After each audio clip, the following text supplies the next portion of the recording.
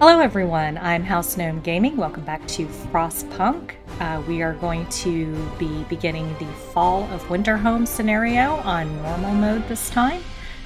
Uh, before we get started into this scenario, I just want to let you know that if you are picking this one up for the first time, uh, there's a few things you should be aware of. First, this is sort of a scenario in progress situation. You are coming into an already established town and cleaning up the mess. So unlike uh, the previous scenarios, you start out with some laws already in place and you can't change them. So you have to work with what you're given at the beginning.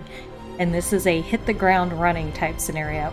I actually do not recommend that if you have just picked up this game, I don't recommend starting with this scenario. It is, in my opinion, one of the most fun scenarios, but it is of the original four the most challenging scenario. So you definitely want to start with uh, a new home.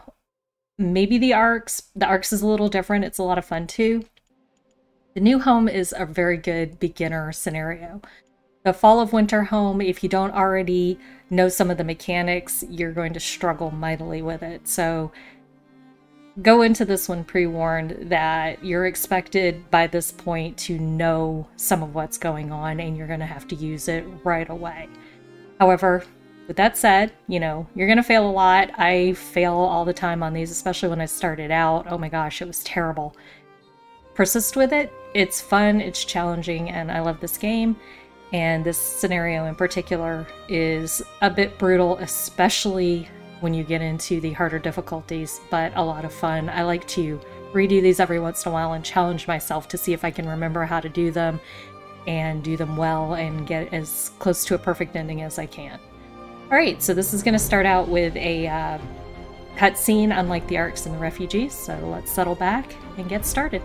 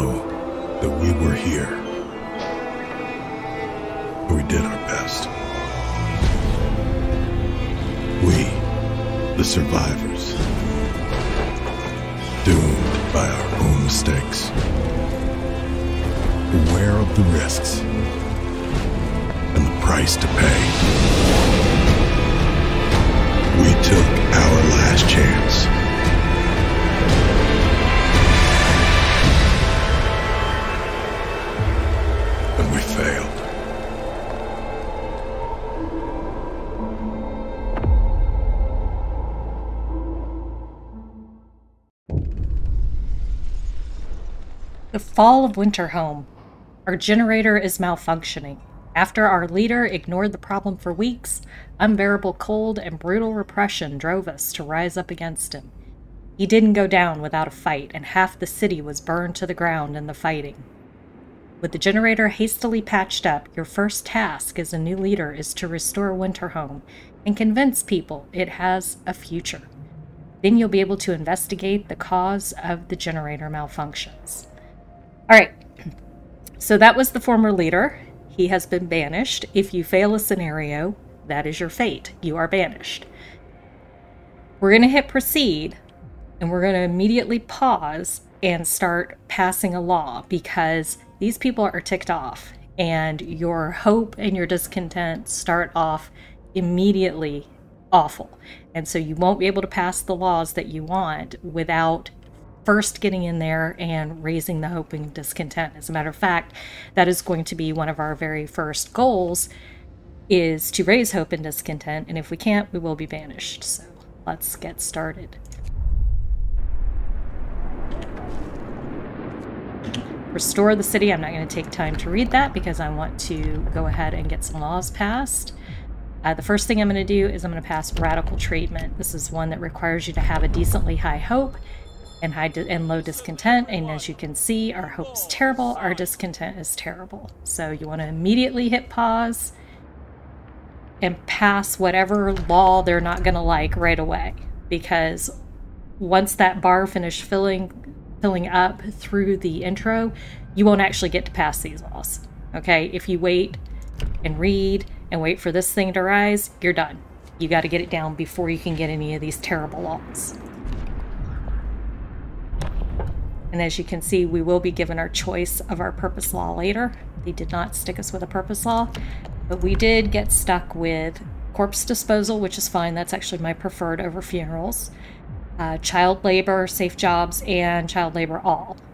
Okay, so we have the kids working for us. Uh, fighting arenas and public houses already taken. I just took radical treatment. So these are the laws we're stuck with. You can see half the city's burned. Everybody's cold. If we go into the economy, uh, we have one outpost, which is giving us coal. That is the only outpost that we're allowed. We are not allowed two in this scenario. We're allowed one. Uh, we will be able to change that once we do some exploration, but for now, that is our coal production. We have a sawmill and a bunch of ruins that we can clear up. We can get um, wood and steel from the ruins. Otherwise, we have no good means of production for either of those. The sawmill does not have a lot of wood associated with it. It will not last very long. Um, we have cookhouses and a couple of hunters' huts, but as you can see, nothing is staffed. We have some medical posts. Again, nothing is staffed. And we have tents and bunkhouses. And the tents are all chilly. And that is because you can see the generator's off. We have six uh, steam hubs, and we do have some heaters. But the steam hubs are not on, and they are nowhere near housing. All of our housing is over here and here on this side of the map, and all of our steam hubs are on this side of the map. We have one steelworks that we can put in production. We have a coal thumper here, we have a coal thumper here. We have one gathering post. These are our food production that are unmanned. So to start out, the first thing that we want to do is we want to turn the generator on to start people getting warm. That'll raise our hope a little bit. We want to man up the unmanned areas. Uh, any generators that aren't near anything useful, like if we turn this one on, it's just going to heat up this area, which we don't need. We don't want those. We want to start clearing out all of these ruins because as we clear those out, hope will go up, discontent will go down, and you can see we've got a list of goals right here to start and nine days to do it. Turn the generator on, remove 30 ruins, raise hope to 50%, reduce discontent to 25%. Now, one of the first things I like to do, and it's because um, you have to do this on harder levels because the difference, one of the differences in the normal levels and the harder levels is you start out with fewer resources to begin with. As you can see, we actually don't have a lot of resources. We have all these areas here with roads. And if you look at the layout of the roads, they're awful. So there's a lot of roads that we can get rid of, which is an easy, early access to wood. So we want to do that. We can get rid of...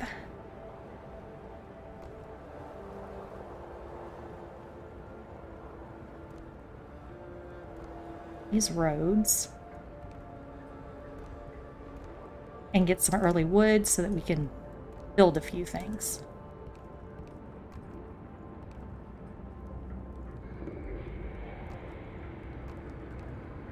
Most of these roads you will not need to put back in later on.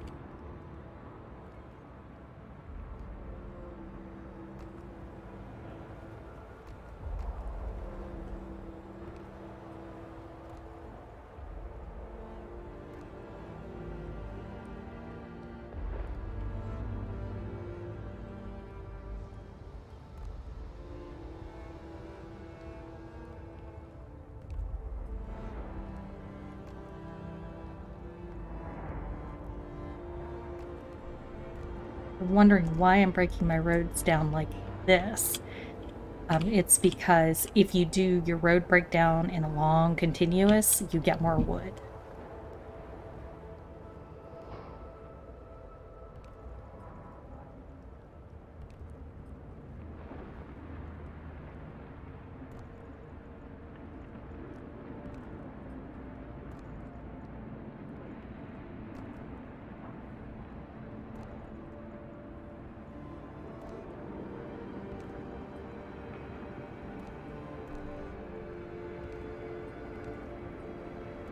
Now this particular road, I'm only going to take up to here. Because I'm actually going to put an outpost right there, a gathering post.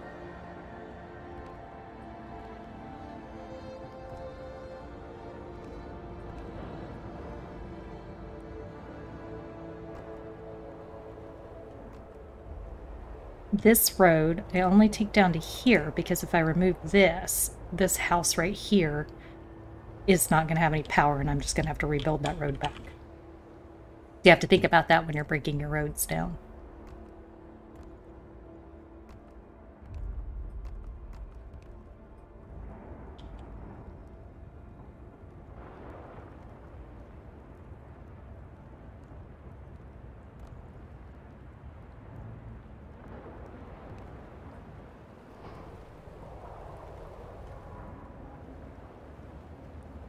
I'm going to leave that there because I'm going to put a gathering post right here and I'm just going to extend it over a little bit.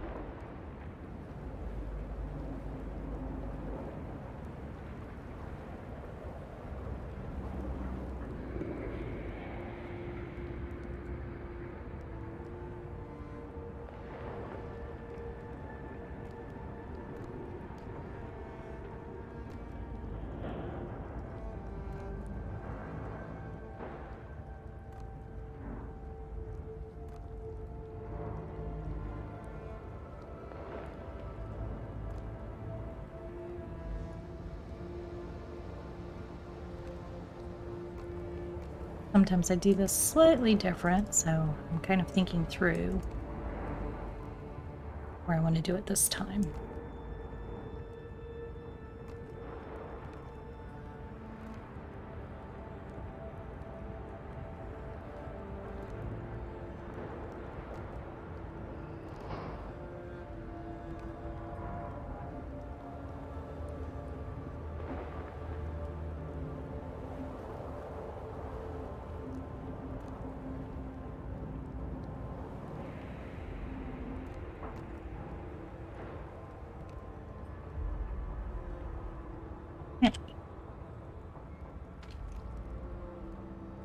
All right.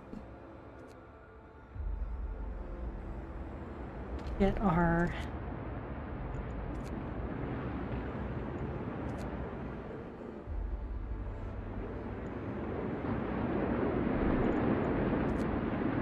production facilities going.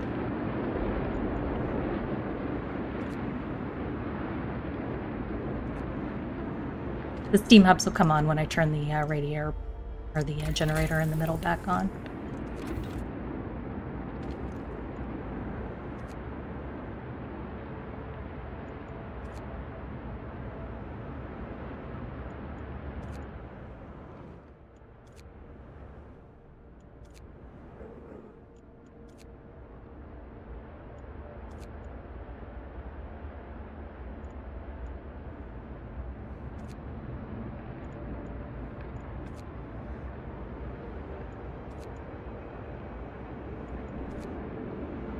Okay. So we can send the scout team out. Send them to the dreadnought.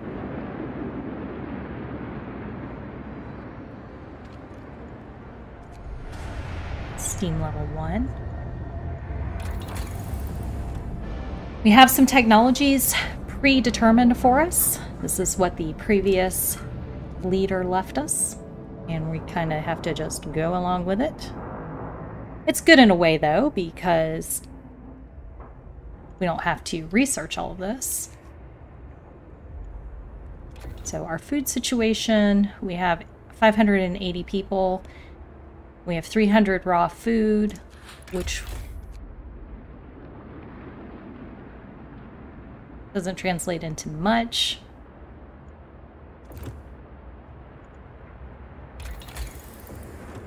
We already have hunters' huts.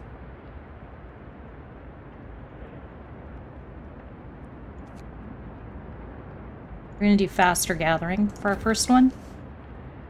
What we're going to do is, first thing we're going to do is move our snow pit. I'm going to move it up here. The reason we're going to do that is because our snow pit is down here. And our current heat generation is three rings out. One, two, three. So it is within the heat range. We're actually going to move it though. One ring out to save on coal. Actually,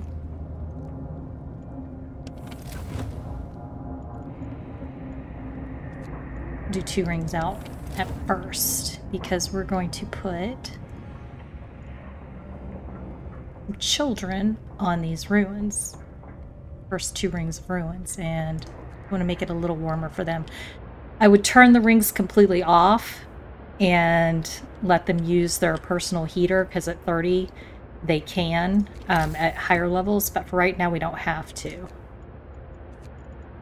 We're also going to want to utilize gathering posts pretty early on to gather up some of these out of the way areas one of the things you're going to want to do is get something going right out here right away because we're going to need a lot of steel and we want to get this steel ruin cleared out so we can build a new steel gathering posts.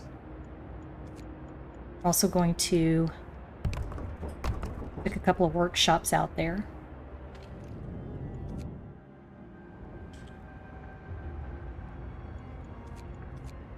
Get rid of that.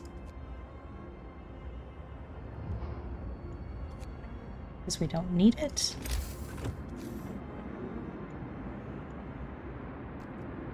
Hook that up to a road.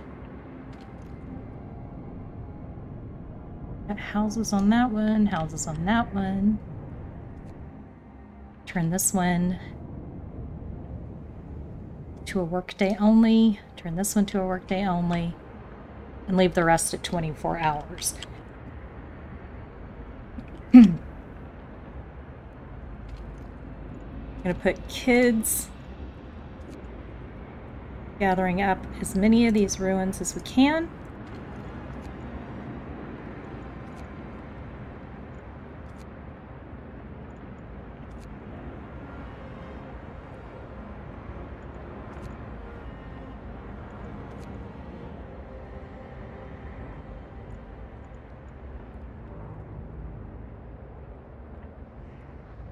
That's the first two rings.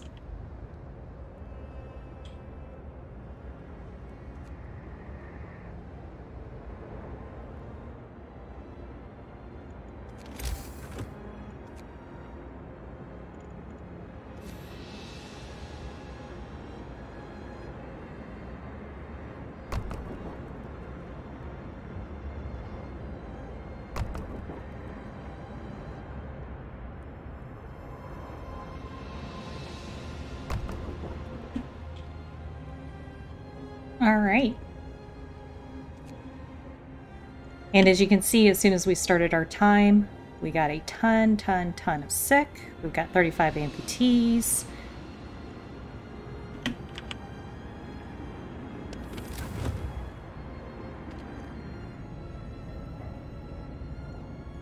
And our two outer, our two rings heated up, which moves them to chilly, which means we'll get fewer people getting sick.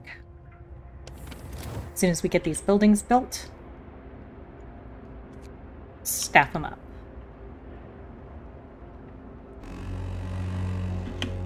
All right.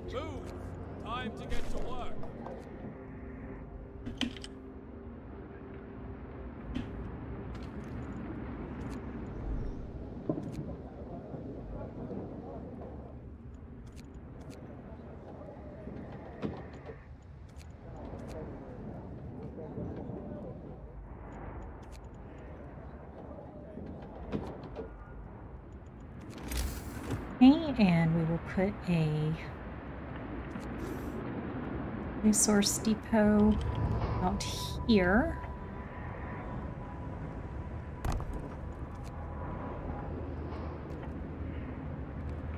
So that our whole delivery can be made. All right, and now we have our snow pit. So we will take the other snow pit with our 54 bodies and we'll dismantle it. And if you watch, you'll be able to see people carrying the bodies from the one snow pit to the other. Help the amputees. Do less harm. Sir, a doctor wants to talk to you about improving radical treatment. I was a field surgeon in the Boer War and worked with the Royal Society to reduce the ratio the rate of limb loss in any hospitals. I believe I can devise a method that will cut the number of amputations during radical treatment. All right, let's get him what he needs.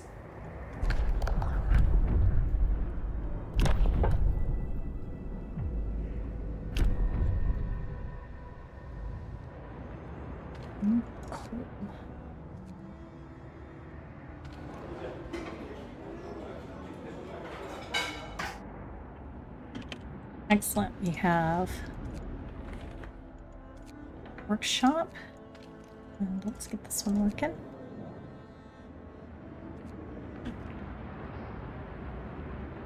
Okay, we are starting to build up some resources. One of the things we want to do fairly early on is get some steam hubs out to these homes because you have a lot of people in this scenario that are living in tents with no heat. And this is an easy way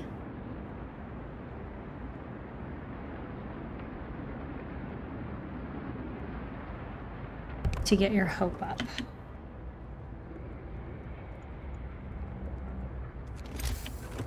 Also want to build more medical posts and more food.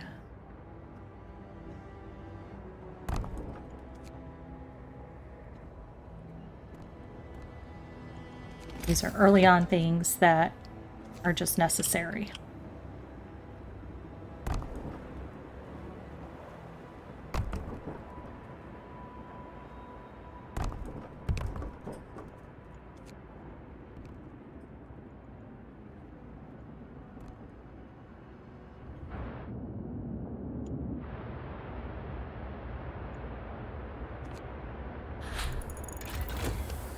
Alright, faster gathering. The reason we wanted that is because that affects not only these gathering posts, but these ruins that are being uh, gathered up as well. We want that as quickly as possible.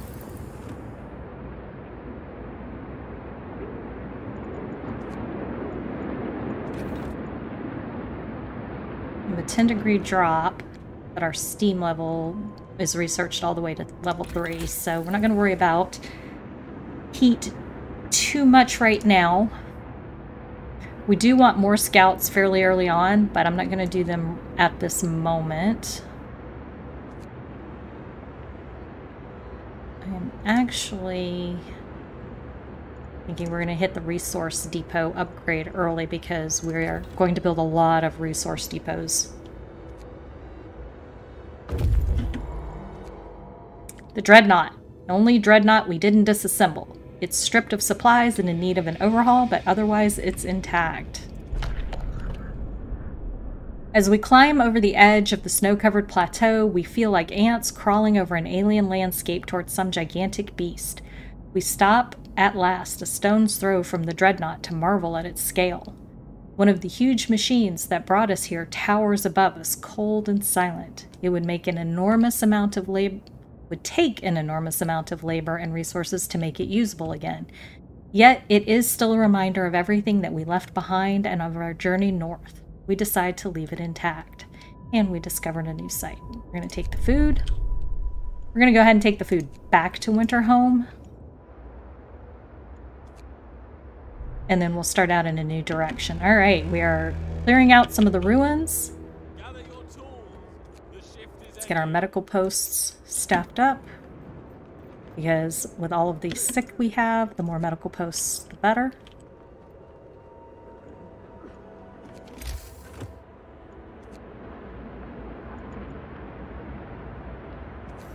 I'm going to go ahead and build a wall drill.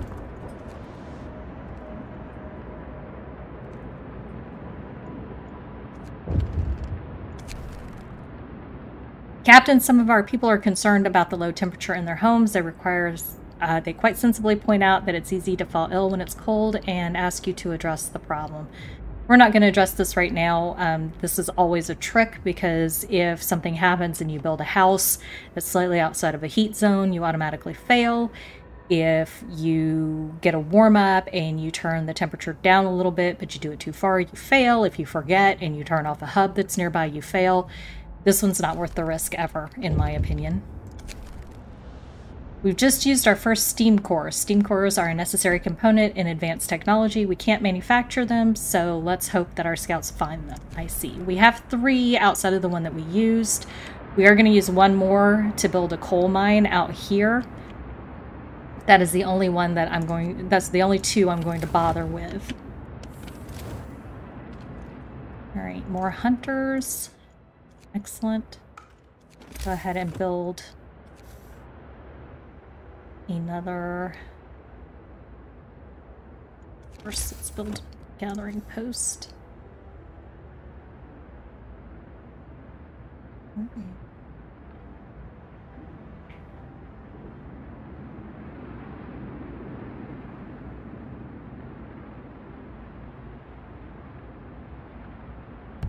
There. And then we'll build the resource depot there.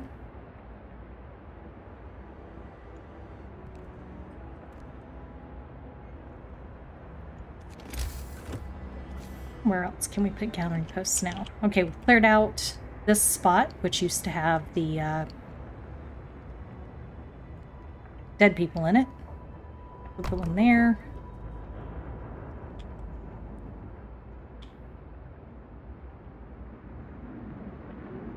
Put one right there. We have enough for one more? Two.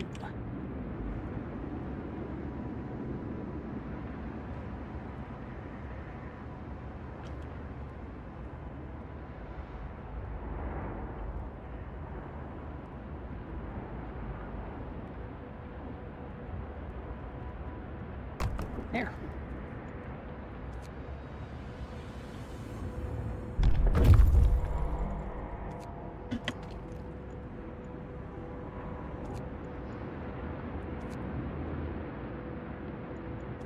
Okay. I'm gonna send our scouts that direction.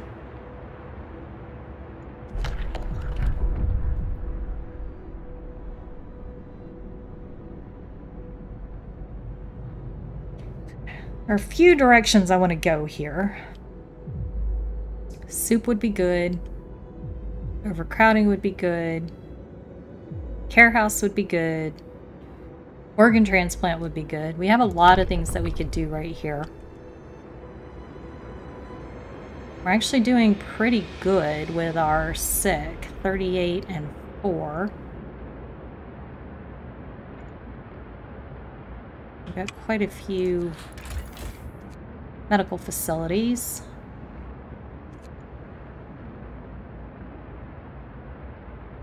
Four untreated, 35 in, 35 beds total. I think we can skip overcrowding for right now.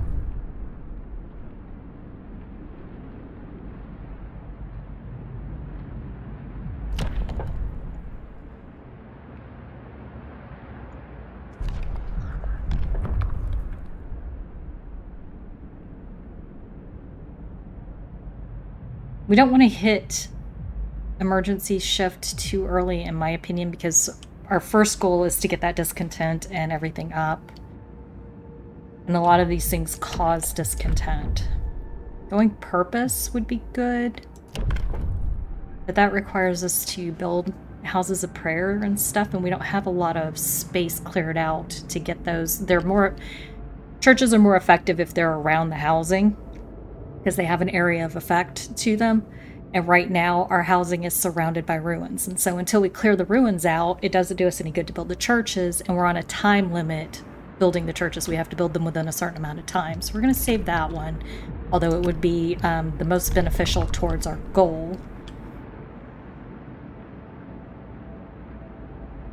Care houses are good for clearing out the medical posts.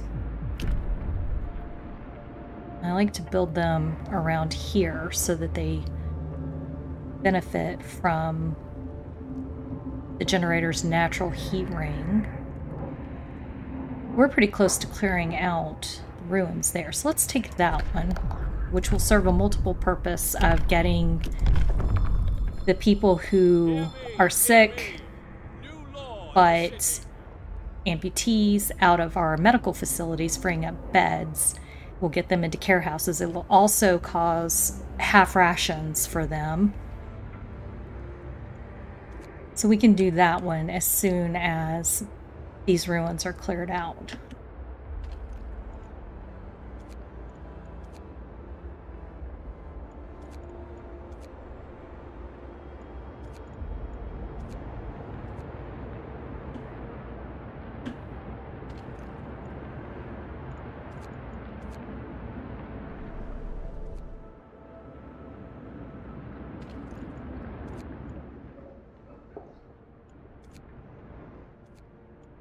This seems like a good place to leave it for now.